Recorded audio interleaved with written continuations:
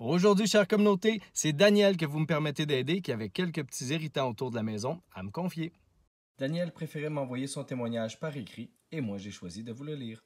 Mille fois merci pour tous les services rendus.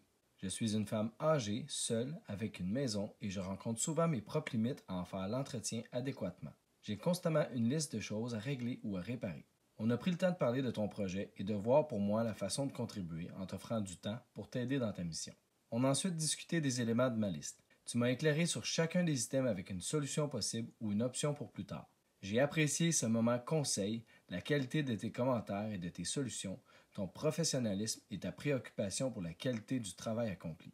Ma liste a diminué au moins, significativement. J'ai regroupé le tout en deux seuls projets pour cette année, le reste des cossins ayant tout été complété. Merci pour ce coup de main qui m'aide à me motiver.